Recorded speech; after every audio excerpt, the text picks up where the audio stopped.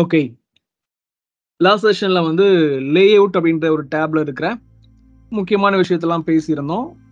Layout tape வந்து இருக்கும்போது நம்ம என்ன பண்ண முடியும்? நம்மளுடைய டாக்குமெண்ட்டை ஆர் நம்மளுடைய கரண்ட் டாக்குமெண்ட்டை என்ன பண்ண முடியும் அப்படின்னா டிசைன் பண்ண முடியும். அந்த பேஜ் லேஅவுட் கண்ட்ரோல்ல இருந்து ஒரு சில முக்கியமான விஷயங்கள்லாம் நம்ம பண்ண முடியும்னு பார்த்தோம்.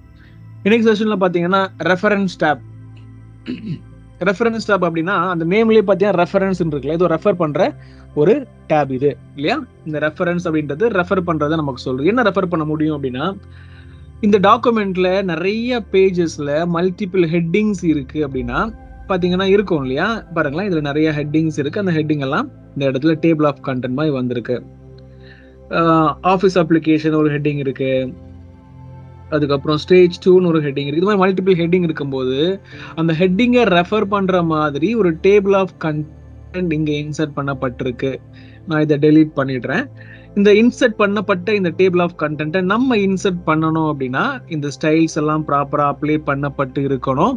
இதில் அப்ளை பண்ணப்பட்டு இருக்குன்றதுனால இந்த இடத்துல கிளிக் பண்ணி நான் டேபிள் ஆஃப் கண்டென்ட் அப்படின்ற அந்த ஃபர்ஸ்ட் குரூப்பில் இருக்கிற இந்த ஆப்ஷனை கிளிக் பண்ணுறேன் அப்படி பண்ணும்போது டிஃபால்ட்டாகவே ஒரு சில ஆப்ஷன் இருக்குது ஒருவேளை நீங்கள் கஸ்டமைஸ் பண்ணணும்னா இதை கிளிக் பண்ணி கஸ்டமைஸ் பண்ணலாம். இப்போ டேரெக்டாக நான் ஃபர்ஸ்ட் ஆப்ஷனை கிளிக் பண்ணி ஒரு டேபிள் ஆஃப் கண்டென்ட்டை க்ரியேட் பண்ணிட்டேன். அதாவது என்னுடைய பேஜில் இருக்கிற என்னுடைய டாக்குமெண்ட்டில் இருக்கிற ஹெட்டிங் எல்லாம் இந்த இடத்துல அழகாக ஒரு டேபிள் ஆஃப் கண்டென்ட் மாதிரி வந்துருச்சு. இப்படி வந்ததுனால என்ன பெனிஃபிட் அப்படின்னா இதை வந்து கிளிக் பண்ணி நான் இந்த இதை கிளிக் பண்றதன் மூலமா கண்ட்ரோலை ஹோல்டு பண்ணி கிளிக் பண்ணோம் அப்படின்னா இந்த ஸ்டேஜ் ஃபைவ்க்கு என்னை கொண்டு போகும். ஸோ எந்த இடத்துக்கு போகணும் அப்படின்னாலும் இதை யூஸ் பண்ணி போகலாம். இல்லைன்னா இந்த நம்பரை பாருங்களேன் பேஜ் நம்பர்ஸை ரெஃபர் பண்ணி இந்த பேஜுக்கு போறதுக்கு ஓகே இது ரெண்டாவது பேஜ்ல இருக்கு இது மூணாவது பேஜ்ல இருக்கு அப்படின்ற ஒரு புரிதலை இது கொடுக்கும். நான் இதை அப்டேட் பண்ணணும்னா அப்டேட் பண்ண முடியும். எல்லாத்துக்குமே ப்ரொவிஷன்ஸ் இருக்குது அப்படியே பார்த்தோம்னா இந்த டேபிள் ஆஃப் கண்டென்ட்டை இன்சர்ட் பண்ணுறதை பற்றி பார்த்துட்டோம். அதுக்கப்புறம் ரிமூவ் பண்ணணும் அப்படின்னா ரிமூவ் அப்படின்றத கிளிக் பண்ணி ரிமூவ் பண்ணலாம். ரொம்ப பேசிக்கான விஷயம். ரைட் கிளிக் பண்ணி அப்டேட் பண்ணலாம். ஆர் இதை கிளிக் பண்ணி அப்டேட் பண்ணலாம். அப்டேட் எதுக்கு பண்ணுறோம் அப்படின்னா சம்டைம் இந்த டாக்குமெண்ட்ல இவ்வளோ ஹெட்டிங் தான் இருக்கு நீங்க கிரியேட் பண்ணும்போது அப்போ அந்த ஹெட்டிங் எல்லாம் வந்துருச்சு. ஒருவேளை இதுக்கப்புறம் நீங்க இந்த டாக்குமெண்ட்டை டெவலப் பண்றீங்க ஒரு சில கண்டென்ட்டை ஆட் பண்றீங்க அப்படின்னா கண்டென்ட் ஆட் ஆனதுக்கு அப்புறம் ஹெட்டிங்ஸும் ஆட் ஆகி இருக்கும் இல்லையா? அப்போ அந்த ஹெட்டிங்ஸ் எல்லாமே கூட நீங்க என்ன பண்ணுவீங்க? இந்த டேபிள் ஆஃப் கண்டென்ட்ல திரும்பி வரணும் அப்படின்னு நினைப்பீங்க ரைட்டா ஸோ அப்போ அந்த மாதிரி டைம்ல நீங்க இந்த இந்த டேபிள் ஆஃப் கண்டென்ட் அப்டேட் பண்ணாதான் அந்த இடத்துல புதுசா கிரியேட் பண்ணப்பட்ட எல்லா ஹெட்டிங்கும் வரும். அப்போ அந்த டைம்ல தான் என்ன பண்ணுவோம் அப்படின்னா நம்ம வந்து இந்த டிஓசி அப்டேட் பண்ணுவோம். அப்டேட் பண்ணும் பொழுது உங்களுடைய நியூ ஹெட்டிங் எல்லாமே இதுல ரிஃப்ளெக்ட் ஆகும். ஸோ டிஓசி அப்டேட் பண்ணப்படும் எக்ஸாம்பிள் இந்த இடத்துல என்ன பண்றேன்? அப்டேட் பண்ணி நான் காமிக்கிறேன். ஸ்டேஜ் டூ அப்படியே காப்பி பண்ணி சும்மா இந்த இடத்துல நான் பேஸ்ட் பண்ண போறேன். எங்கேயாவது பேஸ்ட் பண்ணுவோமே. ஓகே லாஸ்ட்லயே வந்து பேஸ்ட் பண்ணுவோம். ஓகே காப்பி பேஸ்ட் ஆகலை. வேற ஒரு ஹெட்டிங் இது ஸ்டேஜ் ஃபைவ் கிளிக் பண்ணி நான் பேஸ்ட் பண்றேன். ஃபைவ் இது வந்து என்ன பண்றேன் அப்படின்னா ஸ்டேஜ் அப்படின்ட்டு இதை டெலீட் பண்ணிட்டு கன்க்ளூஷன் அப்படின்னு போட்டுட்றேன். ஸோ இந்த இடத்துல நான் ஒரு புது ஹெட்டிங்கை புது செக்ஷனை கிரியேட் பண்ணியிருக்கேன் இல்லையா? அப்போ அந்த செக்ஷன் இந்த இடத்துல இல்லை. அப்போ நம்ம அப்டேட் பண்ற பட்சத்துல என்டையர் டேபிள்னு கொடுத்தோம் அப்படின்னா அந்த ஹெட்டிங்கும் வந்துடும் ஸோ பேசிக்லி என்ன சொல்லுது அப்படின்னா இந்த இடத்துல வந்து ஒரு புது பேஜ் கிரியேட் பண்ணப்பட்டிருக்கு. அந்த பேஜில் புது செக்ஷன் இருக்கு. அந்த செக்ஷன் தான் இது அப்படின்னு நமக்கு புரிஞ்சுக்கலாம். இந்த மாதிரி எத்தனை ஹெட்டிங்கை நீங்கள் ஆட் பண்ணாலும் even even for twenty thirty pages or thirty forty headings நிறைய பேஜ் கிரியேட் பண்ணுறீங்க நிறைய ஹெட்டிங்ஸ் வருதுனாலும் இந்த மாதிரி அது ஆட்டோமேட்டிக்காக நீங்கள் ப்ராப்பர் ஸ்டைல யூஸ் பண்ணுற பட்சத்தில் வந்துடும் இதை கஸ்டமைஸ் பண்ணுற ஆப்ஷன் நிறைய இருக்குது பட் எப்படி இன்சர்ட் பண்ணுறது ரிமூவ் பண்ணுறதுன்ற பேசிக் அண்டர்ஸ்டாண்டிங் இப்போ வந்தால் போதும். அப்புறம் ஃபுட் நோட் அப்படின்ற என்னன்னு பார்க்கலாம். ஃபுட் நோட் அப்படின்னா நோட் அப்படின்னா நோட் இல்ல. இதே விஷயத்த நம்ம இன்டெரக்டா நோட்டுன்னு போட்டு எழுதுவோம் இல்லையா? அந்த மாதிரி பண்ற விஷயத்த நம்ம நோட்டுன்னு சொல்றோம். எப்படி ஃபங்க்ஷன் ஆகுது அப்படின்னா இந்த இடத்துல இதோட சினாரியோ நான் சொல்றேன். வீடியோ ப்ரொவைட்ஸ்னு ஒரு டெக்ஸ்ட் இருக்கு. நான் இந்த இடத்துல கிளிக் பண்ணி இந்த வீடியோ வீடியோ பக்கத்துல கிளிக் பண்ணி வீடியோ ப்ரொவைட்ஸ்ன்ற இடத்துல வீடியோவை கிளிக் பண்ணி வீடியோனா என்ன?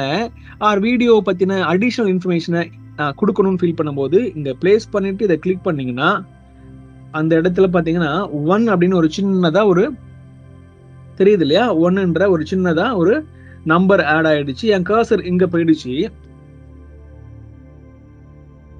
Video refers any MP4, MPG, from MOV, M, MP4, yeah, MPG. So நிறைய வீடியோ ஃபார்மட் இருக்கு அந்த ஃபார்மட் எல்லாம் அங்கே எக்ஸ்பிளைன் பண்ணியிருக்கேன் video refers any files with extension so இந்த மாதிரி நான் ஒரு சில இன்ஃபர்மேஷனை இன்டெரக்டாக கொடுக்கணும் அப்படின்னு நினச்சா இந்த இன்ஃபர்மேஷனை மேலே நான் டைப் பண்ணியிருந்திருக்கலாம். மேலே டைப் பண்ண வேண்டாம். இன்டெரக்டாக ஒரு சில நோட் மாதிரி கொடுக்கணும்னு ஃபீல் பண்ணும்போது இந்த மாதிரி ஒன்றுன்னு கிளிக் பண்ணி நான் கொடுக்கலாம். எப்படி கிரியேட் பண்ண நீங்கள் பார்த்துருப்பீங்க. இப்போ ஆன்லைனை கிளிக் பண்ணி இந்த இடத்துல ஆன்லைன் அப்படின்ற ஒரு வார்த்தைக்கு வேறு ஏதாவது மீனிங்கை ஒரு அடிஷ்னல் இன்ஃபர்மேஷனை கொடுக்கணும்னு ஃபீல் பண்ணாலும் இங்கே கிளிக் பண்ணணும். ஃபுட் நோட்டை கிளிக் பண்ணிங்கன்னா அந்த இடத்துல போய் இன்னொரு ஃபுட் நோட் கிரியேட் ஆகும். இந்த இடத்துல ரெண்டுன்னு ஒரு நம்பர் வரும். பாருங்களேன். ரெண்டுன்னு இங்கே வந்துருச்சு அதே மாதிரி அங்கேயும் ரெண்டுன்னு வந்துருச்சு. ஸோ இந்த இடத்துல நான் டைப் பண்ணுறது ஒரு டெக்ஸ்ட் மாதிரி நோட்டு மாதிரி இருக்கும். இந்த டாக்குமெண்ட்டை பிரிண்ட் எடுக்க பட்சத்தில் இது இப்படியே தான் வரும் இல்லையா? இந்த இடத்துல ஒன் டூன்னு வரும். கீழே அந்த நோட் இருக்கிறத ரெஃபர் பண்ணிப்பாங்க. ஸோ இந்த இடத்துல படிக்கும்போது இந்த இடத்துல டூன்னு இருக்கே அப்படின்னு நினைப்பாங்க. அப்போ டூனா என்னன்றதை கீழே பார்த்து புரிஞ்சுப்பாங்க. ஒருவேளை டாக்குமெண்ட்டை இப்படியே நீங்கள் கொடுக்குறீங்க வச்சுருக்கீங்கன்னா இந்த மாதிரி ஹூவர் பண்ணும்போதே பாருங்களேன் மேலே அந்த இன்ஃபர்மேஷன் தெரியுது. Video refers any files with MP ஃபோர்னு தெரியுது இல்லை இந்த மாதிரி ஒரு சில ஃபங்க்ஷனாலிட்டி இருக்கு. டாக்குமெண்ட்டை பிரிண்ட் எடுத்தீங்கன்னா நீங்கள் புரிஞ்சுக்கிறது கீழே பார்த்து புரிஞ்சுக்கணும். டாக்குமெண்ட்டை டிஜிட்டலாகவே வச்சிருக்கிறீங்கன்னா இந்த மாதிரி நீங்கள் நேவிகேட் பண்ணி அதை பார்த்தாலும் தெரியும். ஸோ ஃபுட் நோட்ன்றது அதுதான் இல்லையா? ஒரு டாக்குமெண்ட்ல இருக்கிற டெக்ஸ்ட்டுக்கு இன்டைரக்டா ஒரு சில இன்ஃபர்மேஷனை கொடுக்கணும்னு ஃபீல் பண்ணும்போது ஃபுட் நோட் அப்படின்றத யூஸ் பண்ணலாம். அதுக்கப்புறம் பார்த்தீங்கன்னா ரிசர்ச் இந்த ரெஃபரன்ஸ் அப்படின்னாலே ஒரு ரெஃபரன்ஸ்னு பார்த்தோம். இது எல்லாமே ரெஃபரன்ஸ் மாதிரி தான் இருக்கு. ரிசர்ச் அப்படிதான் என்ன? ரிசர்ச் பண்ணி ரெஃபரன்ஸுக்கு ஒரு சில கண்டென்ட் எல்லாம் நீங்க எடுத்துக்கொண்டு வரணும்னு ஃபீல் பண்றீங்கன்னா ரிசர்ச் கிளிக் பண்ணுங்க. அப்படி பண்ணும்போது இந்த இடத்துல சர்ச் பாக்ஸ்னு ஒன்று இருக்கு. நான் எதை பத்தி ரிசர்ச் பண்ண போறேன்? மைக்ரோசாஃப்ட் அப்படின்றத பத்தி ரிசர்ச் பண்ண போறேன் அப்படின்னு கிளிக் பண்றேன். ஸோ மைக்ரோசாஃப்ட்டை பார்த்தீங்கன்னா டாப் ரிசல்ட் வந்திருக்கு. விக்கிபீடியான்ற அருமையான ஒரு வெப்சைட் இருக்கு இல்லையா? இந்த வெப்சைட்ல பார்த்தீங்கன்னா எல்லா முக்கியமான விஷயங்களை பார்த்தீங்கன்னா டீடைல்ஸ் இருக்கும். பெரிய பெரிய கம்பெனிஸ் பார்த்தீங்கன்னா ஆர்டிகல்ஸ் இருக்கும். அப்படி பண்ணும்போது விக்கிபீடியாவில் இருக்கிற ஒரு இன்ஃபர்மேஷனை மைக்ரோசாஃப்டை பற்றி இது எடுத்து கொடுக்குது இல்லையா? அதே மாதிரியே ஒரு சில வெப்சைட்ல இருந்து மைக்ரோசாஃப்ட்ன்ற ஒரு வேர்டுக்கான மீனிங்கை அது ஏதோ ரெலவெண்ட்டான ஒரு விஷயத்தை எடுத்து கொடுப்பாரு அந்த பிக்சர்ஸ் எடுத்து கொடுக்குதுன்ற மாதிரி. இந்த மாதிரி ரிசர்ச் பண்ணி ஓகே இந்த டெக்ஸ்ட்டை நான் எடுத்துக்கணும் அப்படின்னு நான் ஃபீல் பண்ண முடிச்சதுல இதை கிளிக் பண்ணி இன்சர்ட் லிங்க்னு கொடுத்து அந்த லிங்க் இன்சர்ட் ஆயிடுது இல்லையா? இப்போ இந்த இடத்துல நான் அண்டூ பண்ணிடுறேன். இந்த பாயிண்ட்ன்ற இடத்த கிளிக் பண்ணிட்டு இன்சர்ட் லிங்க்னு கொடுக்குற இடத்துல பாயிண்ட் அப்படின்ற இதுக்கு பதிலாக மைக்ரோசாஃப்ட் இன்சர்ட் ஆயிடுது. இந்த மாதிரி உங்க ரெஃபரன்ஸ் அப்படின்ற இந்த டேப்ல இருக்கிற ரிசர்ச்ன்ற குரூப்ல நீங்க வெப்சைட் ஓபன் பண்ணி ரிசர்ச் பண்ணி அதுல இருந்து ஒரு சில விஷயத்த காப்பி பண்ணி பேஸ்ட் பண்றதுக்கு பதிலா உள்ளேயே அந்த ஆப்ஷனை கொடுத்துருக்காங்க. இது ஒரு ஆடின் மாதிரி ஒர்க் ஆகுது. அவ்வளவுதான். ஃபங்க்ஷனாலிட்டி நியூ ஃபங்க்ஷனாலிட்டியா நம்ம ஆடின் கூட பார்த்துருப்போம். ஆடின் அப்படின்னா நியூ ஃபங்க்ஷனாலிட்டி உங்களுக்கு எடுத்து கொடுக்கும். அதே மாதிரி இது எல்லாமே new new new new functionalities in Word application இல்லையா? ஸோ சர்ச் மாதிரி ரிகர்சல் இருக்கு. ஸோ ரிசர்ச்சர் சாரி இதுலயும் அதே மாதிரி நீங்க ஒரு கண்டென்ட்டை போட்டு சர்ச் பண்ணி ரிசர்ச் பண்ணலாம். எல்லாமே பார்த்தீங்கன்னா நீங்க எடுத்து கொண்டு வந்து போடுற மாதிரி இருக்கும் இல்லையா? அதுல இருந்து அடுத்த லெவலுக்கு போயிட்டு இங்கேருந்தே எடுத்து உள்ள இன்சர்ட் பண்ணிக்க முடியும். அதுக்கப்புறம் பார்த்தீங்கன்னா பிபிலோகிராஃபி இந்த ரெண்டு ஆப்ஷன் இந்த ஆப்ஷன் பார்த்தீங்கன்னு வச்சுக்கோங்களேன் இந்த கேப்ஷன் பிபிலோகிராஃபி இண்டெக்ஸ் அப்படின்லாம் அப்படின்றதுலாம் ஒரே மாதிரியான விஷயங்கள். Bibliography caption index table of authorities அத்தாரிட்டிஸில் நம்ம பார்த்தீங்கன்னு வச்சுக்கோங்களேன் டேபிள் ஆஃப் அத்தாரிட்டிஸ்னா என்னென்னு புரியுறது கஷ்டமா இருக்கலாம். இண்டெக்ஸ்னா என்னென்னு தெரியுது கஷ்டமா இருக்கலாம். கேப்ஷன்னா என்னன்னு புரியாது. பிபிலோகிராஃபிக்கல் அப்படின்ற மாதிரினா என்னென்னு தெரியாது இல்லை நான் எக்ஸ்பிளனேஷன் உங்களுக்கு பண்ணுறேன் புரிஞ்சுக்க ட்ரை பண்ணுங்க. நார்மலா இந்த ரெஃபரன்ஸ் அப்படின்ற டேப்ல இருக்கிற இந்த ஆப்ஷனை நீங்க புரிஞ்சிருப்பீங்க. டேபிள் ஆஃப் கண்டென்ட் இந்த டேபிள் ஆஃப் கண்டென்ட்ன்றது எல்லா ஹெட்டிங்கையும் அந்த டாக்குமெண்ட்ல உள்ள எல்லா ஹெட்டிங்கையும் முதல் பேஜ்ல எடுத்து நம்ம எந்த இடத்துல கிளிக் பண்றோம் அங்க கொடுக்குது இல்லையா? இதே மாதிரி நான் இண்டெக்ஸை பத்தி எக்ஸ்பிளைன் பண்றேன். ஒருவேளை ஹெட்டர் அப்படின்றத கிளிக் பண்ணி நீங்க இண்டெக்ஸா நீங்க அதை மார்க் பண்றீங்கன்னு வச்சுக்கோங்களேன். நான் இண்டெக்ஸ் இண்டெக்ஸ் இல்லையா? இண்டெக்ஸ் இங்க இருக்கு. அதை நான் கிளிக் பண்றேன். ஸோ கிளிக் பண்ணி இண்டெக்ஸ் எக்ஸ்பிளைன் பண்ணிட்டு இருக்கேன் கிளிக் பண்ணி இண்டெக்ஸ்ல மார்க் அப்படின்னு கொடுக்குறேன் அப்படின்னா அந்த செலக்ட் பண்ணப்பட்ட அந்த இது ஒரு இண்டெக்ஸா மார்க் ஆகுது. சரியா? இந்த இடத்துல மார்க் ஆன உடனே ஒரு மாதிரி இந்த மாதிரி அன்னோன் கேரக்டர்லாம் வருது இல்லையா? அதை நம்ம எடுத்து விட்டுடலாம். அது தெரியாது நார்மலா ஓகே இப்போ அந்த இடத்துல ஒரு மார்க்கிங் பண்ணப்பட்டிருக்கு. அதே மாதிரி பட்டனை கிளிக் பண்ணி நான் என்ன பண்றேன்? ஒரு இண்டெக்ஸ் மார்க் பண்றேன். மார்க் பண்ணிடுறேன். அந்த மாதிரி நிறைய விஷயத்த நான் என்ன பண்றேன் அப்படின்னா மார்க் பண்ணிக்கிட்டே போவேன் இல்லையா? இந்த மாதிரி முக்கியமான மார்க் பண்றது எல்லாம் என்னோட இண்டெக்ஸா கிரியேட் ஆகணும்ன்றதா என்னுடைய எக்ஸ்பெக்டேஷன் நான் எங்கெல்லாம் கிளிக் பண்ணி மார்க் பண்றேன்னு பாருங்க. மார்க் பண்ணிட்டேன். மார்க்கு அப்புறம் அதே மாதிரி கீழே வந்து நிறைய இடத்துல கிளிக் பண்ணி நான் மார்க் மார்க்னு பண்றேன். மார்க்கு எஸ் இந்த மாதிரி பண்ணிட்டு ஒரு நாலஞ்சு விஷயத்த நான் மார்க் பண்ணிட்டேன். இப்போ இது எல்லாமே பாத்தீங்கன்னா டாக்குமெண்ட்டுடைய எண்ட்ல வந்து இண்டெக்ஸ் மாதிரி வரணும். சம்டைம் நீங்க என்ன பண்ணுவீங்க ஒரு சில டாக்குமெண்ட்ல லாஸ்ட்ல பார்க்கும்போது நிறைய ரெஃபரன்சஸ் இருக்கும். இந்த கீவேர்டு இந்த பேஜ்ல இருக்கு இந்த கீபோர்டு அந்த பேஜ்ல இருக்குன்ற மாதிரி ஒரு இண்டெக்ஸ் ரெஃபரன்ஸ் கொடுத்துருப்பாங்க. ஈவன் ஃபர்ஸ்ட் பேஜ்ல நம்ம கிரியேட் பண்ண டிஓசியே நம்ம இண்டெக்ஸ்னு சொல்லுவோம் சம்டைம் பட் அது டிஓசி தான். இப்போ நம்ம இன்சர்ட் பண்ணது இல்லையா அதுதான் மார்க் பண்ணது தான் இண்டெக்ஸ் அப்படின்றதோடைய மார்க் இப்போ நான் என்ன பண்ண முடியும் அப்படின்னா இந்த இடத்துல டேபிள் ஆஃப் கண்டென்ட் மாதிரி இண்டெக்ஸ்க்கான ஒரு கண்டென்ட்டை டேபிள் ஆஃப் இண்டெக்ஸ்னு ஒரு இதை நான் கொண்டு வர முடியும். நான் என்னென்னலாம் ஆட் பண்ணணும் அதெல்லாம் இந்த இடத்துல. பாருங்களேன் பாட்டம் பட்டன் ஹெட்டர் வீடியோ வேறுன்றதெல்லாம் நான் வந்து மார்க் பண்ணேன். அப்போ அதெல்லாம் இந்த இடத்துல வந்துருச்சு. இதை நான் அப்டேட் பண்ண முடியும். இன்னும் கூட நிறைய விஷயத்த மார்க் பண்ணி அதை இந்த இடத்துல கொண்டு வர முடியும். ஸோ புக்குடைய எண்டில் வர்றதை நீங்கள் ஞாபகம் வச்சுக்கோங்க. இந்த மாதிரியான இண்டெக்ஸ் அப்படின்றது நீங்க நிறைய புக்ல பார்த்துருப்பீங்க. இப்படிதான் அது கிரியேட் பண்ணப்படுதுன்றதை நீங்க புரிஞ்சுக்கணும். நிறைய அதுல ஆப்ஷன் இருக்கும். அதான் முக்கியமான விஷயம். நான் டெல் பண்ணிட்டேன். டெல் பண்ணிட்டேன். இந்த இடத்துல இன் இன்செர்ட் கொடுக்கும்போது பார்த்தீங்கன்னா இந்த இடத்துல நான் என்னென்னலாம் இன்செர்ட் பண்ணணும் அதெல்லாம் வருது. ஆஸ் வெல் அஸ் டெம்ப்ளேட்னு இருக்கு. கிளாசிக்காக வரணுமா? ஃபேன்சியான ஒரு அவுட்புட்டில் வரணுமா? மாடர்ன் அவுட்புட்டில் வரணுமா? என்னென்ன மாதிரி அவுட்புட்ல வரணும்னு நம்ம கொடுக்கலாம். நான் இந்த இடத்துல இருக்கிற எல்லாத்தையுமே நான் சும்மா உங்களுக்கு காமிக்கிறேன். ஃபார்மலா வரணும். சிம்பிளா வரணும். என்ன மாதிரி வேணுமோ நான் ஃபார்மல் கொடுத்துட்டு ஓகே பண்ணும்போது இது கொஞ்சம் டிஃப்ரெண்டா வரும். பாருங்களேன். ஃபர்ஸ்ட் கொஞ்சம் டிஃப்ரெண்டான அவுட்புட் வந்து இப்போ அது கொஞ்சம் டிஃப்ரெண்டான அவுட்புட்ல வருது இல்லையா? ஸோ பீன்ற ஆல்பபெட்ல ரெண்டு இருக்கு. ஹெச்ல ஒன்னு இருக்கு. வில ஒன்னு இருக்கு. டபிள்யூ இந்த மாதிரி கேட்டகரைஸ் பண்ணி அழகா வந்திருக்கு. இதெல்லாம் நீங்க எங்க பார்த்துருப்பீங்க? புக்கோட எண்ட்ல பார்த்துருப்பீங்க. ஸோ இண்டெக்ஸ் அப்படின்னா என்னன்னு சொல்லிட்டேன். இப்போ பிபிலோகிராஃபி அப்படின்னா என்ன?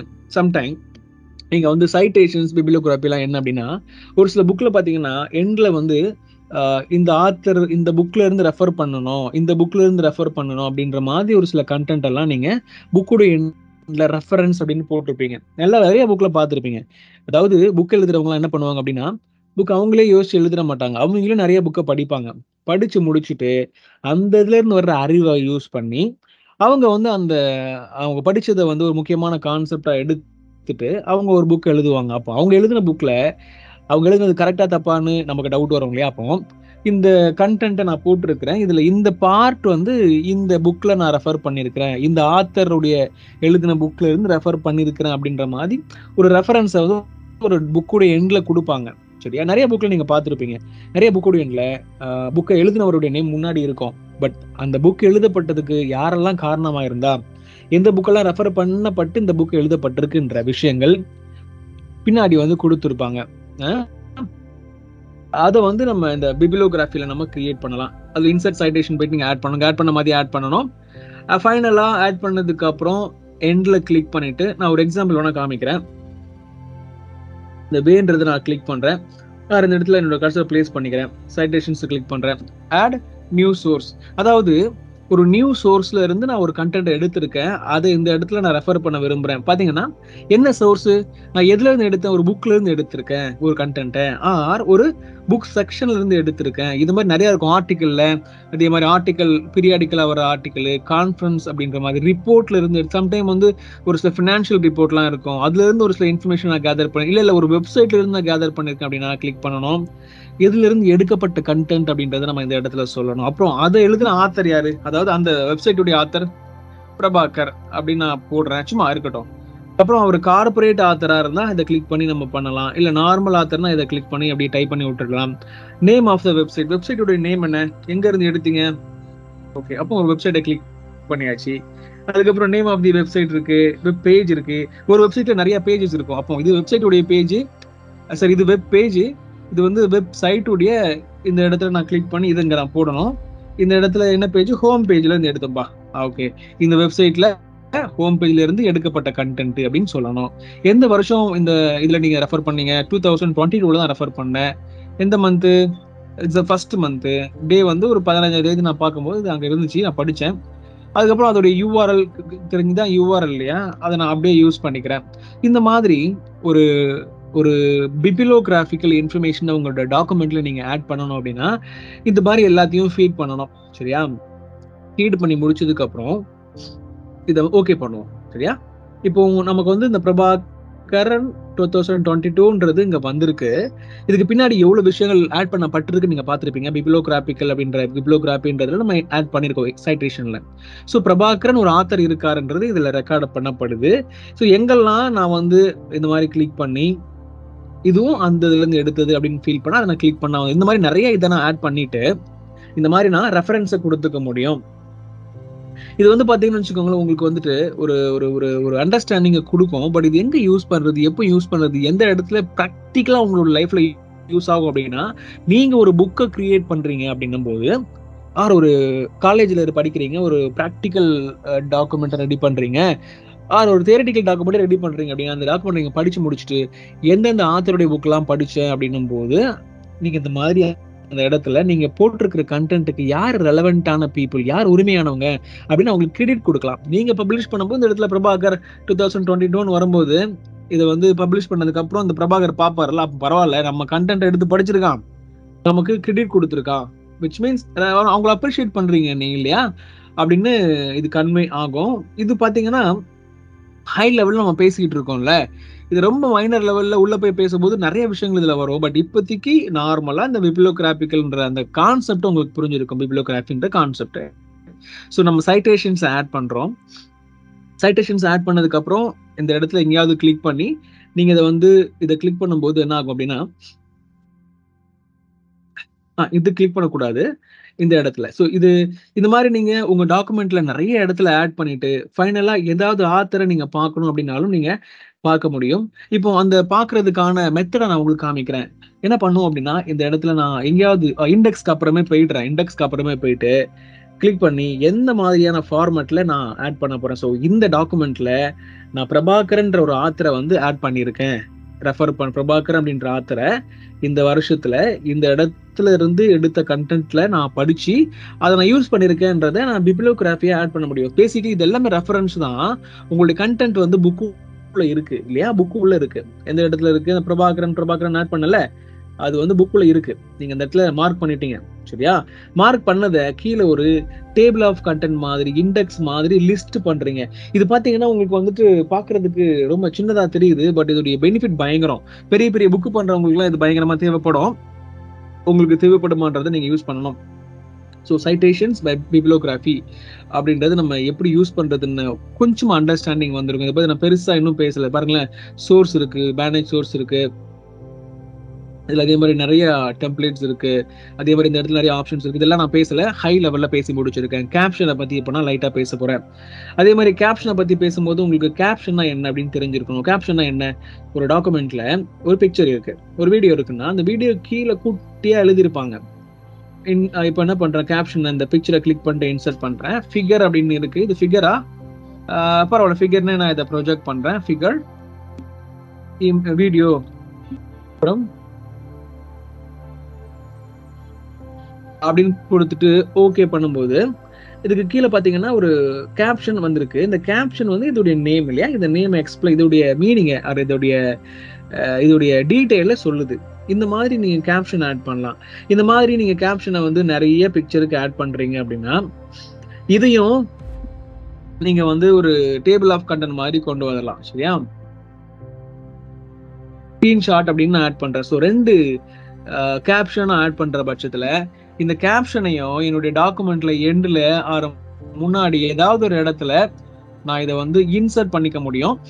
எது எதெல்லாம் கேப்ஷனா பிக்சரா இருக்கு? சம்டைம் டேபிள்ஸ் ஒரு நாற்பது ஐம்பது டேபிள் இருக்குன்னா அந்த நாற்பது ஐம்பது டேபிள்க்கும் இந்த இடத்த கிளிக் பண்ணி டேபிள்னு கொடுத்து ஒரு கேப்ஷன் இன்சர்ட் பண்ணுவீங்க. ஃபிகர் இருக்கிற பட்சத்தில் ஃபிகர் இன்சர்ட் பண்ணுவீங்க.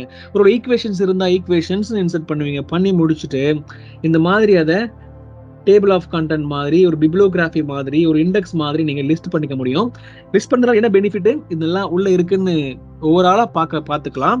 ஆஸ் வெல் அஸ் அந்த பேஜை ரெஃபர் பண்ணிக்கலாம். புக்கா இருக்கிற பட்சத்துல கிளிக் பண்ணா அந்த இடத்துக்கு கூட்டு போயிடும். இந்த மாதிரி நிறைய பெனிஃபிட் இருக்கு. ஸோ ரெஃபரன்ஸ்ன்ற டேப்ல உள்ள இது எல்லாத்தையும் பார்த்துட்டோம். இதே மாதிரி தான் இந்த சைட்டேஷன்ஸ் அப்படின்றத யூஸ் பண்ணி அத்தாரிட்டியும் பண்ணலாம். பட் இது எல்லாமே நீங்க புரிஞ்சுக்கிறதுக்கு எல்லாமே கிளிக் பண்ணி கிளிக் பண்ணி ப்ராக்டிஸ் முதல்ல பண்ணுங்க. ஏன்னா I don't want to explain you all the irrelevant option which is not covered in your COA subject maybe நீங்க பேசிக்கா எக்ஸல் வேர்டு பவர் பாயிண்ட்லாம் தெரிஞ்சு தெரிஞ்சுக்க போறீங்கன்னா அதை தெரிஞ்சுக்கலாம். ஆமா அது அது மாதிரி தெரிஞ்சுக்க போறேன்னு உங்களுக்கு தோணுச்சுன்னா என்கிட்ட கேளுங்க. நான் எதையும் உங்களுக்கு எடுக்க ட்ரை பண்ணுறேன் ஒரு சில விஷயங்கள்லாம் லைட்டாக எடுத்தால் புரியாது. இப்போ இந்த பிபிலோகிராஃபில இன்னும் ஒரு சில எக்ஸாம்பிள உங்களுக்கு சொல்லி இன்னும் எஃபெக்டிவாக காமிச்சா நல்லா புரியும். அதே மாதிரி இது ஓகே இது உங்களுக்கு புரிஞ்சிருக்கும். இண்டெக்ஸும் புரிஞ்சிருக்கும். இதுவும் அதே மாதிரி தான். இந்த அத்தாரிட்டிஸ்னா என்ன அப்படின்றத நான் உங்களுக்கு புரிய வச்சு அத்தாரிட்டிஸை எப்படி யூஸ் பண்ணுறதுன்றத புரிய வச்சு கொஞ்சம் பெருசாக எக்ஸ்பிளைன் பண்ணும்போது தான் அதோடைய பெனிஃபிட் புரியும். கட்டாயம் உங்களுக்கு ஒரு அண்டர்ஸ்டாண்டிங் கொடுத்து போ நம்புறேன். இது வரைக்கும் நீங்கள் தெரிஞ்சாலே இந்த நார்மலான விஷயங்களை நீங்கள் மேனேஜ் பண்ண முடியும்ன்றது என்னுடைய அண்டர்ஸ்டாண்டிங் மெயிலிங் அப்படின்ற ஒரு டேபுக்கு போவோம். மெயிலிங்ன்ற டேப்ல நிறைய இருக்கு. இந்த மெயிலிங் டேபே பார்த்தீங்க அப்படின்னா ஒரு நாள் ரெண்டு மணி நேரம் பேச வேண்டிய சப்ஜெக்ட்ஸ் இதில் இருக்குது ஸோ ரெஃபரன்ஸ் டேப்ல எப்படி நம்ம குயிக்காக முடிச்சோமோ அதே மாதிரி இந்த மெயிலிங்கை முடிக்க முடியாது. ப்ராக்டிக்கலாக பார்த்தே ஆகணும். அந்த மாதிரி கண்டென்ட்ஸ் இருக்கு. ஸோ அந்த கண்டென்ட்டை நம்ம அப்கமிங் கிளாஸ்ல பார்க்கலாம். முதல்ல ஒரு ஹை லெவல் அண்டர்ஸ்டாண்டிங்கை மட்டும் நான் கொடுக்குறேன். இந்த மெயிலிங் டேபை யூஸ் பண்ணி அந்த பேருக்கு தகுந்த மாதிரி மெயில் அனுப்புகிறேன் ஆர் மெயில் அப்படின்றத என்ன சொல்லுவோம்? நம்ம நம்ம இமெயில மெயிலுன்னு சொல்லுவோம். ஒரு காலத்துல வந்து ட்ரெயினை கூட மெயில்னு சொல்லுவாங்கல்ல. ஸோ ஒரு இடத்துல இருந்து இன்னொரு இடத்துக்கு அந்த ட்ரெயின் போகுது. அதை மெயில்னு சொல்லி ஏதோ இடத்துல நான் கேள்விப்பட்டிருக்கேன். அதே மாதிரியே லெட்டர் போடுறதையும் மெயில்னு சொல்லுவோம் இல்லையா? அப்போ எல்லாமே இதுல வந்துடும் என்ன போட முடியும் அப்படின்னு பாத்தீங்கன்னா ஒரு கம்பெனி நீங்க வச்சிருக்கீங்க. மேபி இப்படி எடுத்துக்கலாம். நீங்க ஒரு யூனிவர்சிட்டி ஓகேவா மெட்ராஸ் யூனிவர்சிட்டியில நீங்க ஒரு முக்கியமான இடத்துல வேலை செய்றீங்க. அப்போ அதுல ஒரு பத்தாயிரம் பேர் படிக்கிறாங்க.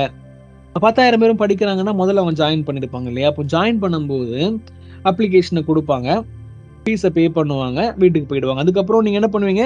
யூ ஆர் யூ ஆர் சும்மா எக்ஸாம்பிளுக்கு சொல்றேன். நீங்க வந்து அட்மிஷன் உங்களுக்கு போட்டாச்சு அப்படின்னு ஒரு லெட்டரை வந்து எல்லா பத்தாயிரம் பேருக்கும் அனுப்பணும் அப்படின்னா பத்தாயிரம் பேருக்கும் லெட்டரை நம்ம எழுதுறது இல்லை. கம்ப்யூட்டர்ல தான் நம்ம கிரியேட் பண்ணி பண்றோன்றதுனால கம்ப்யூட்டர்ல பத்தாயிரம் பேருக்கும் லெட்டரை டைப் பண்ண முடியுமா? ஒரு ஒருத்தருக்கும் முடியாது. அப்போ ஒரு லெட்டரை கிரியேட் பண்ணுவோம்.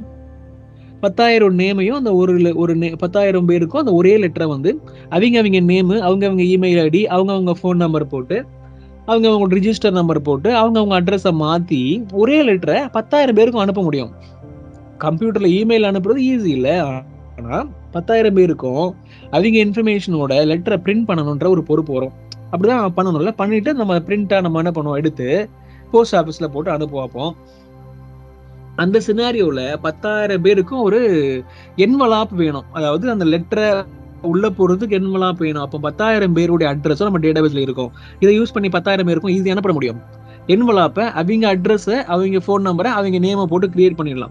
அதே மாதிரியே ஒரு- ஒரு லேபிள் மாதிரி ஒன்று ஒட்டணும். பத்தாயிரம் பேருக்குன்னா இதை யூஸ் பண்ணி லேபிளை கிரியேட் பண்ணலாம். ஸோ லேபிள் என்வலாப்லாம் கிரியேட் பண்ணிட்டு லேபிளில் தான் மேலே ஒட்டுவோம் நம்ம சம்டைம் அதுக்கு அந்த லேபிள் தேவைப்படும். ஒரு என்வலாப்புக்கு மேலே ஒரு லெட்டருக்கு மேலே ஒரு லேபிள் மாதிரி ஒட்டுறோம். அந்த லேபிளில் அவங்க நேமு அவங்க அட்ரஸ் ஏதாவது வரணுன்ற போது லேபிள் மாதிரி நீங்கள் கிரியேட் பண்ணலாம். அதே மாதிரி இந்த என்வலாப்பும் லேபிளும் கிரியேட் பண்ணால் போதுமானா உள்ள கண்டென்ட்னு ஒன்று வைக்கணும்ல லெட்டர் மாதிரி. அப்போ தான் வந்துட்டு அந்த லெட்டர் வந்து அவங்களுக்கு போகும். அவங்க அந்த லெட்டரை பிடிச்சி படிப்பாங்க இல்லையா அப்போ. இதை யூஸ் பண்ணி இது இருக்குல்ல இந்த இந்த டேப் எல்லாம் யூஸ் பண்ணி ஒரு லெட்டரை எப்படி கிரியேட் பண்றது அப்படின்றத நம்ம பண்ணுவோம் சரியா? அப்போ மெயிலிங் அப்படின்ற இந்த டேபை யூஸ் பண்ணி என்வலாப்பை கிரியேட் பண்ணலாம் லேபிள்ஸை கிரியேட் பண்ணலாம் மெயில் மர்ஜ்ன்ற இந்த கான்செப்ட் மூலமா ஒரு லெட்டர் மாதிரி அவுட்புட்டை கிரியேட் பண்ணி பிரிண்ட் எடுக்கலாம். இல்ல இல்ல நான் வந்து மெயில் மட்டும்தான் அனுப்புறேன். சம்டைம் இமெயிலே பாத்தீங்கன்னா உங்க கம்பெனில வந்து ஒரு மேபி சின்ன கம்பெனியா ஒரு ஐம்பது பேர் ஒர்க் பண்றாங்கன்னும் போது ஐம்பது பேருக்கும் ஒரு இமெயில் அனுப்பணும். ஆனா ஜென்ரிக்கா ஒரே கண்டென்ட்டை போட்டு அனுப்பாம ஒவ்வொரு இமெயிலையும் அந்த எம்ப்ளாயுடைய நேமை ரெஃபர் பண்ணணும் அப்படின்னா நேமை டைப் பண்ணி டைப் பண்ணி நம்ம சென்ட் பண்ண முடியும். பட் அது டைம் ஆகும்ல அப்போ ஒரே கண்டென்ட்டை அந்த ஐம்பது எம்ப்ளாயியுடைய ஓட அவங்களுக்கு போகணும். இப்போ எக்ஸாம்பிள் ஒரு மாசத்துல கம்பெனில எம்ப்ளாய்க்கு வந்து ஹைக் போட்டிருக்காங்க இன்க்ரிமெண்ட் போட்டிருக்காங்க அப்படின்னா அந்த இன்க்ரிமெண்ட் போட்ட இன்ஃபர்மேஷனை நம்ம இமெயிலில் அவங்களுக்கு அனுப்புவோம். அப்போ ஒரே டைம்ல ஒரே லெட்டரை கிரியேட் பண்ணி அவங்களுக்கு நம்ம அனுப்ப வேண்டிய இப்போ எனக்கு வர்ற ஒரு இமெயில என்னுடைய நேம் இருக்கும். எனக்கு வர்ற அந்த இமெயில எனக்கு எவ்வளவு இன்க்ரிமெண்ட் போட்டாங்கன்னு இருக்கும். என்னுடைய எம்ப்ளாய் ஐடி இருக்கும். என்னுடைய டெசிக்னேஷன் இருக்கும். நான் எப்போ ஜாயின் பண்ணன்றதை அவங்க ரெஃபர் பண்ணி இருந்திருக்கலாம் எனக்கு என்ன போஸ்டிங் கொடுத்துருக்காங்கன்னு ரெஃபர் பண்ணிருக்கலாம் அதெல்லாமே டேட்டா பேஸ்ல ஒரு எக்ஸல்ல போட்டு மெயின்டைன் பண்ணிட்டு இருப்பாங்கல்ல? அந்த இன்ஃபர்மேஷன் மூலமா ஒரே லெட்டர்ல அவங்களுடைய நேம்ஸ் அவங்களுடைய டீட்டெயிலை வந்து மர்ச் பண்ணி ஒரே கிளிக் பண்ணும்போது அந்த ஐம்பது எம்ப்ளாய்க்கும் மெயில் போயிடும். மெயில்னா இது பிசிக்கல் மெயில் கிடையாது. எலக்ட்ரானிக் இமெயில் ரைட் நம்ம இமெயில் ஜிமெயில்லாம் யூஸ் பண்ற மாதிரி இமெயில் ஃபர்ஸ்ட் நம்ம பேசினது வந்து பிசிக்கலா நம்ம என்வலாப்ல போட்டு அனுப்புறதையும் பண்ண முடியும். இமெயிலாவும் அனுப்புறதையும் இந்த இடத்துல பண்ண முடியும் அப்படின்னு நம்ம பேசிக்கிட்டு இருக்கோம். ஸோ இது ரெண்டுமே உங்களுக்கு ஒரு புரிதலை கொடுத்துருக்கோம் நம்புறேன். அப்போ இமெயில் அப்படின்ற விஷயமும் பிசிக்கலா லெட்டர் அப்படின்ற விஷயமும் இந்த என்வலாப் தட் இஸ் இமெயில் மெயிலிங்ன்ற டேப்ல இருக்குன்றது உங்களுக்கு புரிஞ்சிருக்கும். ஸோ மெயிலிங்ன்ற டேபை வச்சு என்னெல்லாம் பண்ண முடியுன்ற ஹை லெவல் அண்டர்ஸ்டாண்டிங்கோட இன்னைக்கு முடிக்கலாம். அப்கமிங் செஷன்ல இது உள்ள இருக்கிற ஆப்ஷன்ஸ் நம்ம எக்ஸ்ப்ளோர் பண்ணி பார்க்கலாம். கடையம் உங்களுக்கு புரியும் அப்படின்னு நம்புறேன். அடுத்த செஷன்ல இந்த மெயிலிங்ன்ற டேபையும் ரிவ்யூ அப்படின்ற டேபையும் நம்ம ரெஃபர் பண்றதுக்கு ட்ரை பண்ணலாம்.